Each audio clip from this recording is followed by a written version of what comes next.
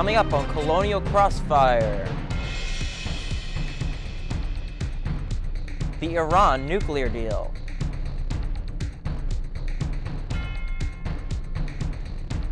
Religious freedom laws. And Rand Paul enters the fray. Joining us on the left, Ethan Arsht. On the right, Nate D'Amico. And I'm your moderator, Andrew Desiderio. This is Colonial Crossfire.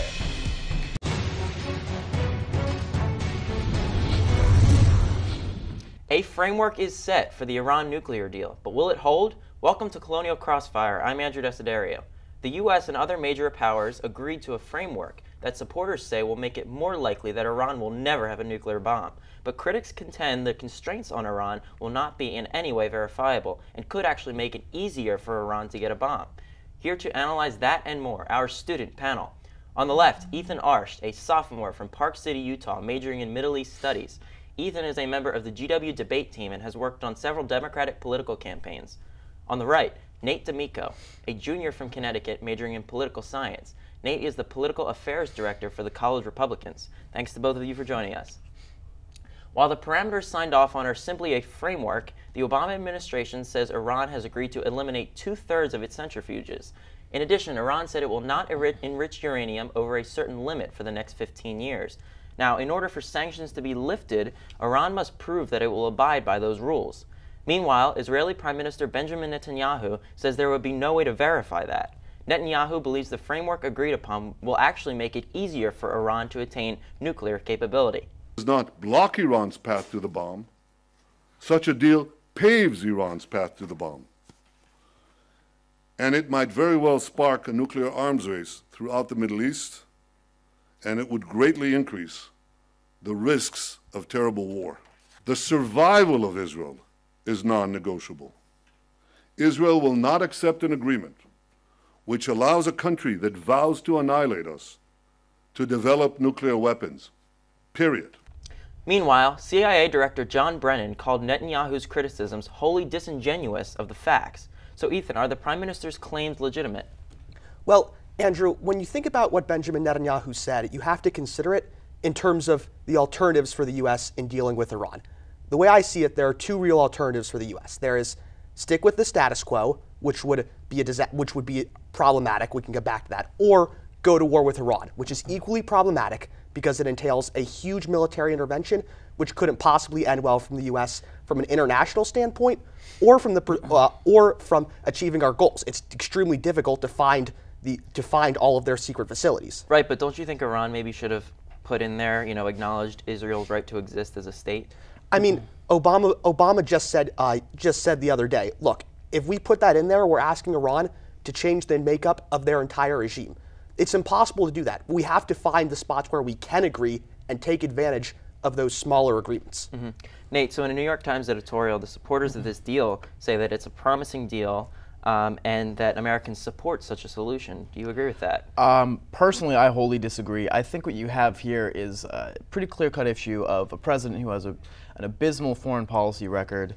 Um, a lot of problems around the world, and right now he's trying to salvage not only his own legacy, but make the field uh, a little bit easier for a Democratic replacement in 2016. And I think what you have here is him rushing at any cost to try and get a deal. You know, you have an Iranian regime which has never held true to any promise or agreement it's made. They've been in a state of war against us officially since 1979, I believe, sometime in the 70s. Um, you know, you have a leader who on one day we're having these uh, good faith negotiations with Iran. The next day, the Ayatollah Khamenei is coming out and saying, death to America, death to Israel, death to the great and little Satan. Um, I, I, disagree with you. I don't think our choice right now is between uh, the status quo and war. I, I do wholly agree that war is uh, not an option that I ever want us to have to engage in. Um, but the reason that these deals are happening in the first place is that the sanctions we have right now against Iran are crippling them. And I think that we are very much invested in and should be working to change the regime. And, and Israel is you know, our biggest ally in the Middle East, and I think they're a big part of that. And I want to bring up something you mentioned. This is actually one of the few times where Iran I mean, sorry, Israel and the Sunni Arab nations are actually allied with each other against the U.S. because they feel like, you know, the U.S. Mm-hmm. is uh, I guess, rewarding Iran with li- uh, lifting the sanctions for their aggression in the region, um, specifically how they're backing the, the Houthi rebels in Yemen who are overthrowing the government there. Um, and of course, Saudi Arabia got involved in airstrikes. So, Ethan, doesn't that seem a little bit convoluted, that narrative there? Sure. I mean, I still think it's important that we negotiate with the Iranian regime right now. The reason why is because if we don't, if we don't make this deal happen, we lose Rouhani in Iran. He will lose the next election unless he can bring some back some results from the people because he won the election campaigning on sanction sanction relief. That means that if we embarrass him, he's going to lose the next election, and the window for negotiation has closed completely. Now, uh, in terms of dealing with the Gulf states and the Sunni states in, uh, in the Middle East, some of them have begrudgingly, admittedly, accepted that this deal has to happen.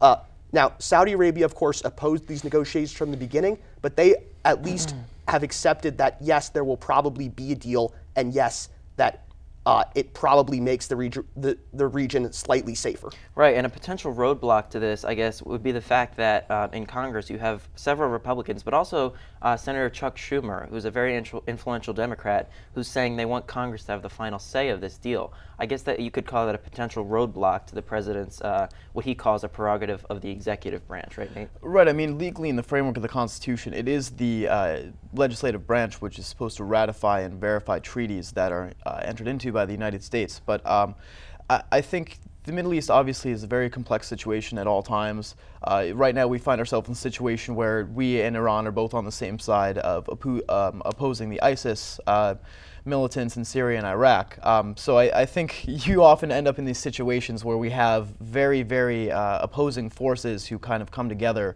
um, if not allied, then um, on the same side of an issue. Um, and, but that's something people forget a lot, is that the rest of the Middle East also has a huge problem with Iran. It's not just us, it's not just Israel, it's many of the other uh, Islamic states as well. Ethan, do you agree with Senator Schumer that Congress should have the final say? Uh, if the deal that they come to, when they hash out all the details, revoke sanctions that were ratified by Congress, yes, Congress should, the, the pre president should not be able to override an act of Congress. However, if they can just eliminate sanctions that the executive branch put in place, yeah, that's the executive branch's prerogative. It's a deal, not a treaty in that case. Okay, and I want to go back to, to the U.S.'s overall involvement in here. Um, how involved should the U.S. be? Should they have been in getting this framework set, Nate? Um, I, I think this is something the United States still is a major global player, um, whether or not you want us to be, whether or not other nations want us to be. Um, and when it comes down to it, Iran is one of the greatest threats to the United States. It's one of the greatest threats to world peace and security. Um, and I personally, if you examine the um, philosophy of the theocratic regime in Iran, the whole point of their uh, branch of Islam is that they believe in the concept of the 12th Imam who's going to return and like cleanse the world and bring the world under the uh, under the rule of the Muslim people. And I, I think the goal of this uh, regime, and you can agree or disagree with me on that, is to prepare the world for this and make this happen. They are making preparations right now for that. And I think that the problem that you have is that this is a regime that if they do um, if they do acquire nuclear capabilities, if they don't use it, they have a huge history of sponsoring ter state terror or being a state sponsor of terror, um, mm -hmm. especially against Israel. And I think if you have a situation where they acquire that capability, even if they don't use it themselves, there's a very, very high probability that they're going to shop it out to somebody else. Right. So, so Ethan, why do you think there's two? Like the facts are the same uh, of of the framework. Everybody's saying the same thing in terms of what's in the framework. But it seems a little interesting that Netanyahu is saying this paves the way to, to, Iran getting a bomb, but the U.S. is saying something completely different based on the same set of facts that are in the framework. Why do you think there's that narrative there? Right, and I would add that uh, the Ayatollah has said something completely different to the people uh, in Iran. And the right. truth is, everyone has to appease their uh, can, has to appease their base. Yeah. Right. The Ayatollah says one thing because he has to appease the hardliners in Iran. Obama says another thing because he has to uh, appease some of the lobbies here in the U.S. And then Netanyahu has always been against these negotiations. He's not going to back down on that front now. He has to maintain that these negotiations are a threat to Israel. All the same, this makes it more difficult for Iran to get the bomb than what we had before. Like mm-hmm. any way you look at it, they are further from a bomb. They're not. It's not impossible for them to get a bomb. They're further from a bomb than they were before this deal before right. this framework. All right, Nate. Quick prediction. Do Mm-hmm. you think um, this framework will hold and that we'll actually get a deal over the summer? Quick prediction. Um, I- I think that there's a very good chance that a, that a deal will be signed. Uh, just really quickly to Ethan's point, um, I disagree with Netanyahu. I don't think it paves the way for them. I do agree that it, it does make it harder for them to get a bomb, but I think at the end of the day that you cannot trust this regime and that you cannot verify that they're going to do what they're going to say. Ethan, very quick prediction on your part. Uh, I think that a deal happens, a diminished deal from what came out in the framework, uh, but a, a deal will get ratified. All right, we shall see. And of course, the devil is in the details. Coming up, we'll examine the fine line between religious liberty and discrimination next. The George Washington University, at the intersection of policy, practice, and research. Connecting all that Washington has to offer with an intellectual environment that drives progress. Transforming vision into action, offering learning experiences that are rigorous, real time, and real world. In a city shaping the future, George Washington is a place where faculty and students don't just study the world, they work to change it. It's been pretty busy around here with parcel and flex plans going on sale, so we need an extra pair of hands around the office.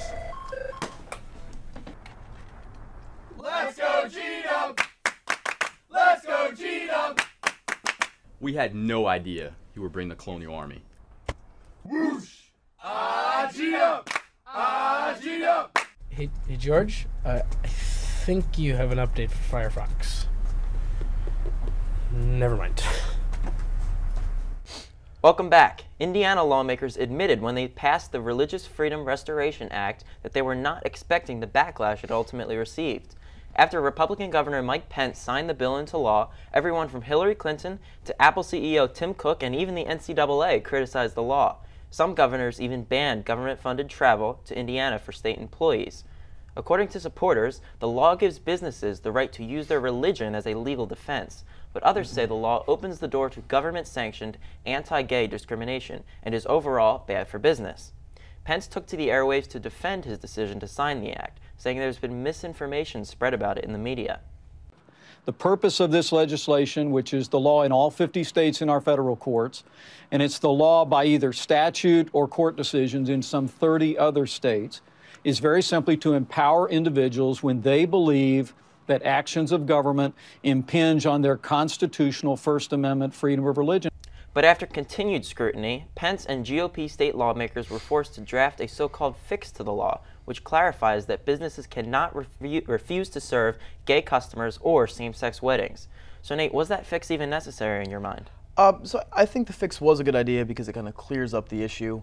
Um, I think that one of the, the biggest issues with the bill is misinformation, as Pence said. Um, the name association is a little bit unfortunate. When it says Religious Freedom Restoration Act, there's an association obviously with uh, protecting religious beliefs, which it does. But what this bill really is trying to get at is it's saying that no person should be forced to do something that goes against their beliefs. Um, and that applies equally to, um, say, a, a print shop run by a gay couple, uh, which you know, if the Westboro Baptist Church comes in and says, hey, you know, we want you to make us some shirts that say the things that we all know them very well for saying, Right. um, I think that that couple should have every right to say, no, we're not going to do that. Or if a, if a Jewish business owner is asked to make a, um, a uh, something for a KKK rally or for a Nazi group in America. I think what this is trying to say is that nobody should be forced to do something that disagrees with them. We've had governments that try to do that. That the Soviet Union told you when, where, and how to work. We don't do that here. So, Ethan, was the original bill, um, was the intent of it to discriminate against gay people? And if not, what was the intent in your mind? Yes, the intent was discrim- to discriminate against gay people. Some of the lawmakers who sponsored and signed or, or voted for that bill, not Mike Pence, but some of the state uh, senators, said the intent of this is to strengthen religion and strengthen Christianity against uh, homosexuality. And uh, after the fix, all this bill does is it brings it in line with the previous 1992 uh, federal act that was the Religious Freedom the one that Bill Clinton Act. signed. Yeah, Right. and and and so after the fix, this bill doesn't do anything. Before the fix, it slightly strengthened the ability of uh, corporations to not serve gay people. Right, and that's a good point because Angie's List, um, a company that's based in Indiana, said they won't expand uh, because of the law. And after the fix was passed, they still said it was insufficient because it never changed the existing law that you talked about, the 1992 law, the federal one. Um, but do you think private businesses, on any grounds, have the right to refuse service to anyone uh, under the free market, say? Yes, they can refuse service, but not because of questions of identity, color, um, sexual orientation, right? Mm-hmm. They can refuse uh, business because you're rowdy and you, uh, you know, uh, vandalize their storefront, right. right. You can't refuse. You can't refuse business to anyone based on a question of identity. So what do you say, Nate? But but that's the problem that nobody is saying. You know, shop owners in Indiana aren't putting up gay detectors in their doorways and saying, "Oh, you know, you're you're a homosexual, you can't come in here." The problem isn't that they're turning these people away. The problem is that they're saying there are very specific things in which they will not engage. You know, printing a cake that has uh, an endorsement of gay marriage on it. It's it's not that they're denying business whole completely across the board to people on the basis of gender, race, uh, ethnicity, uh, sexuality. It's that there are very specific cases in which there is a small something that violates their beliefs, and as I said, it would it would work in the reverse situation as well. Um, it's not saying you know you're gay, you can't come in here. It's saying I don't agree with the specific message that you're that you're trying to promote. I will not engage in that specific activity, not that I will not serve you carte blanche. Right, but can't the bill, you know, as Ethan said, can't people use the bill if they want to to refuse service to gay people? Can't they do that under I the bill? I think people can certainly try to, um, but the problem is that that is not protected under the bill. Um, there have been a couple of cases, and suits that have been tried under similar bills in other states, uh, such as the episode with the uh, the wedding, the the uh, family that tried to deny the wedding service, the other uh, bakery issue, those suits were uh, dismissed, and the government basically said this is not a legitimate cause. The way you're approaching this is not sufficient uh, for you to deny them based on this. So so far, it hasn't ever been used to discriminate against a gay couple or any other type of uh, person. Yeah. So Ethan, are the media kind of to blame here, as Mike Pence said, for uh, spreading maybe misinformation about the bill? Um, when it was first reported, uh, you know, people said they could just um, refuse service to gay people, which wasn't exactly true. It was it was you know more focused on the issue of same-sex weddings. You know, if you want to get a florist or a photographer or a caterer or something like mm-hmm. that. Um, do you do you buy that argument that there was you know maybe some misinformation out there in the media to start with?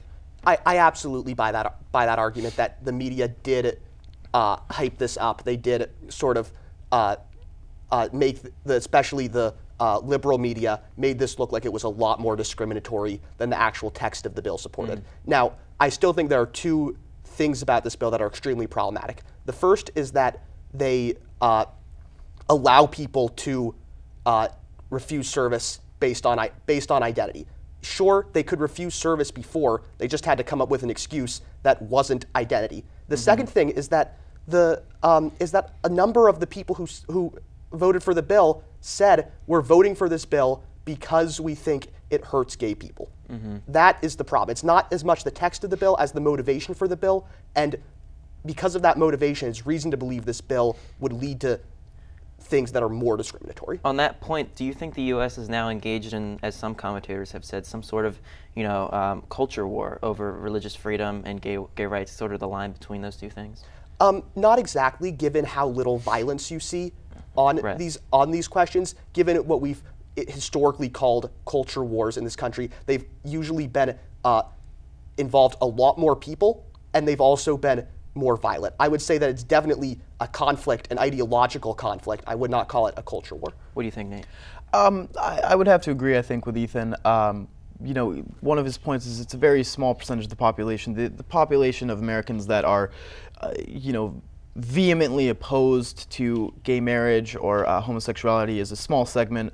Um, the population that is vehemently fighting back is also a small segment. Um, and at the, at the end of the day, we've had a history of these things throughout America's uh, time. You know, when the Irish and Italian immigrants came in, uh, other Catholic immigrants, uh, we've had plenty of um, social and cultural disagreements in America. I think the beauty of it is that in what the ideals of this country is. We move forward, we have debate, discussion, and um, we move past it. Just quickly on the point of the media, I do think it was whipped up a bit. I think that's kind of the media, uh, what they see as their job today is to kind of turn into everything into uh, a circus. Um, I think it, they made it a little bit more serious than it had to be, but there are legitimate criticisms to be made, and I'm glad that there was discussion that led to uh, changes. I want to go back to something Ethan said in the beginning that I asked him about um, whether the original bill, without the fix, was intended to discriminate against gay people. Do you think it was?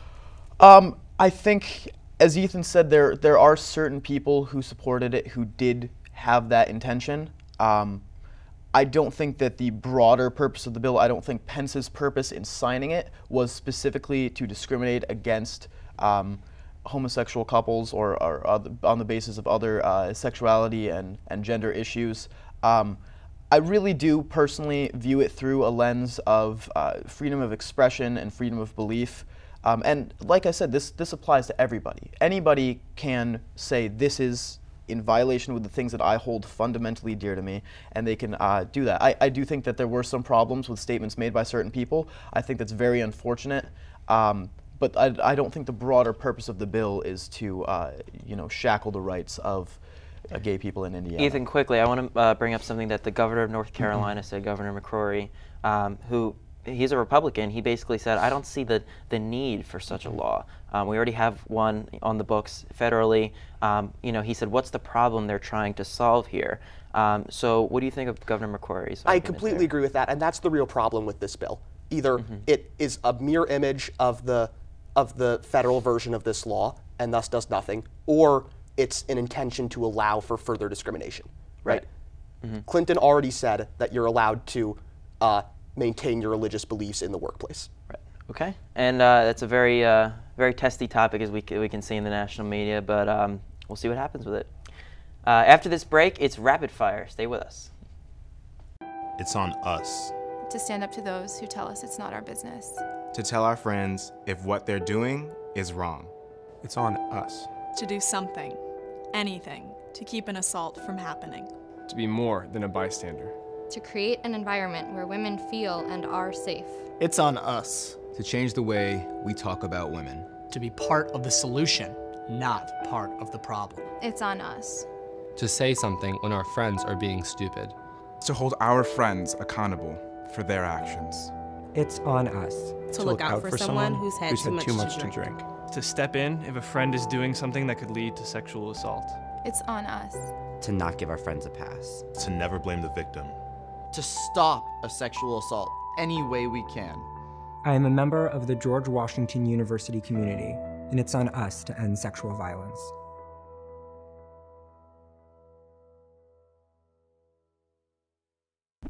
Welcome back. Our panel joins us again for rapid fire, some quick answers to some quick questions.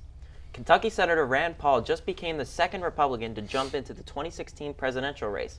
Nate, do you think he has a chance to win the Republican nomination? Um, I think Rand is a very strong candidate. He has a huge backing. Um, he is. Uh, obviously on some issues more conservative. On other issues such as legalization, he's a little bit more lax. He also uh, recently put forward a bill with uh, Cory Booker, Democratic senator from New York, that would um, re-enfranchise ex-felons. Uh, so there are some issues that he has a broad, moderate, and even somewhat liberal appeal. Um, and I, I, think he's a brilliant, brilliant guy, and he's a strong, uh, strong character in the Republican field right now. Ethan, should Democrats be afraid of him?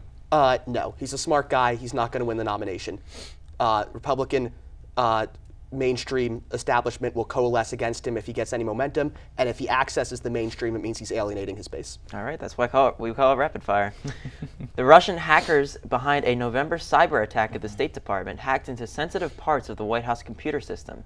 Ethan, how will this intrusion affect the already already fragile relationship that President Obama and Vladimir Putin have? Well, right now they're not interacting at all, so I can't see them it getting much worse between the two of them. That said, how is our cybersecurity fail so often? Good point, Nate. Um, I, I, think our relations right now are even worse than they were on House of Cards this season. Um, I think the broader problem here is that when you have, uh, this is the information age. We know that Russia's trying to hack our stuff. We know that China is trying to hack our, our corporations and our government. And at the same time, you have this Secretary of State using a, a personal email for all of her correspondences. And even if there were not classified documents in those emails that very likely could have been hacked, uh, any personal information about one of the nation's top leaders and a probable Democratic uh, presidential nominee is it's extremely troublesome. I think that's the broader issue that this points to. Mm -hmm. All right, and comedian John Oliver of HBO surprised the world when he traveled to Moscow to interview NSA leaker Edward Snowden. Oliver argued that people have lost interest in government surveillance and that the potential threats it poses, and suggested some rather humorous tactics Snowden could use to get people's attention. Nate, has the public lost interest in this issue? Um, I, I, think there's just so many things swirling around at any one time that it's it, it is hard to keep a handle on all of them at once.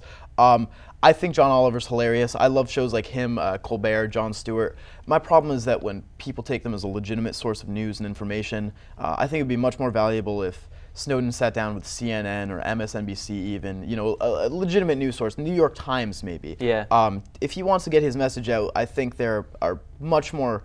Uh, much better avenues for doing so. Ethan, do you think the public has lost interest in the issue of government surveillance? I think to an extent. Um, when this news first broke, when Snowden first released this data, it was very much uh, one of the biggest concerns that we had. And now think mm -hmm. about the last time you heard anyone discuss uh, NSA surveillance or PRISM or any of their programs as a top level uh, concern for the American public. Mm -hmm. the government and the people who support have done a great job pushing it under the rug in a way, just getting it out of the mainstream media. All right, well, it was definitely a very funny interview. I think we can all agree on that. Definitely. And with that, we'll end our debate here on Colonial Crossfire. Thank you so much to Ethan and Nate for joining us. When we come back, Casey Decker has our debate fact check.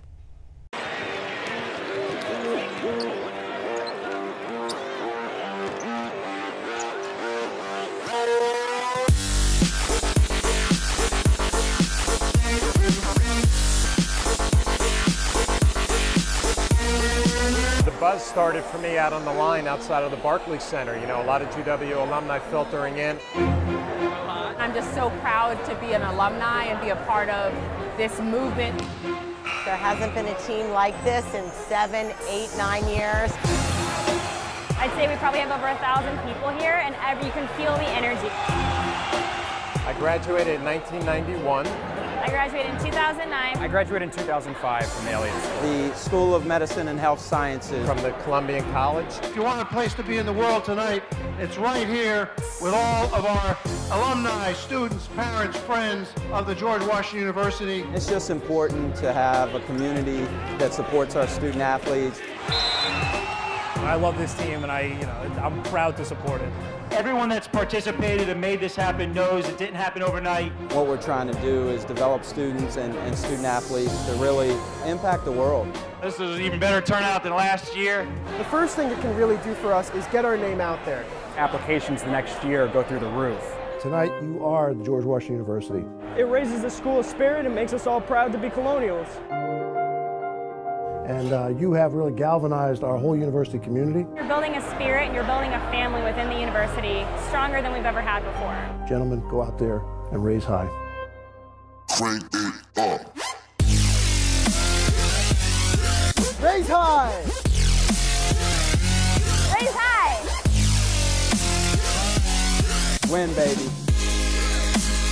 Crank it up. Raise high, the buff and blue.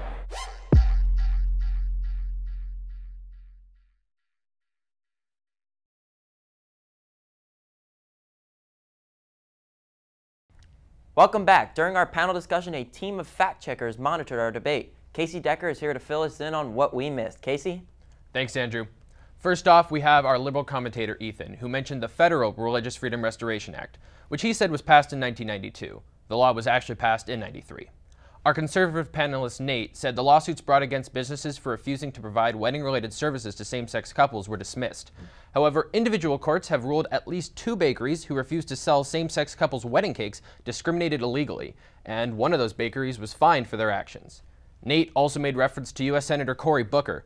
Nate said the senator is from New York. He's actually from New Jersey. That's it from the fact check desk, but Andrew, I've got to brag a little bit. Duke won it all. Did I call it or did I call it?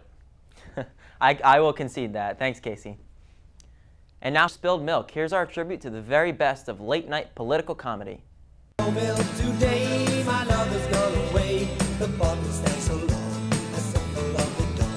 But the agreement could be derailed by congressional Republicans. Well, I mean, come on. That's, that's, are you really saying anything there? I mean, but the agreement could be derailed by congressional Republicans is like the political version of saying in bed after you read your fortune cookies. It's you will meet your true love and share a happy future but the agreement could be derailed by congressional Republicans. I mean, This Sunday is the premiere of Game of Thrones. This season focuses on a woman from a once powerful family who will stop at nothing to claim her rightful place on the throne, based on the true story of Hillary Clinton. I guess that does explain Hillary's new campaign slogan, Winter is Coming. Actually, I read that President Obama has now visited every state in the U.S. except for South Dakota. But he's visited Afghanistan four times. Which explains South Dakota's new tourism slogan South Dakota, not as fun as Afghanistan. According to the New York Times, Jeb Bush identified himself as Hispanic on a 2009 voter registration form, while Hillary Clinton identified herself as president. At Friday prayers, there was the usual chant of death to America, but more habit than conviction. Oh, that's good, I guess. More habits than conviction. You know, like an atheist saying, God bless you when you sneeze. All right, well, that's all for this episode of Colonial Crossfire. For all the latest updates from our political team at any time, be sure to follow us on Twitter and like us on Facebook. For all of us here at GWTV, I'm Andrew Desiderio. Thanks for getting caught in the crossfire with us. Have a great summer, GW. We'll see you next year.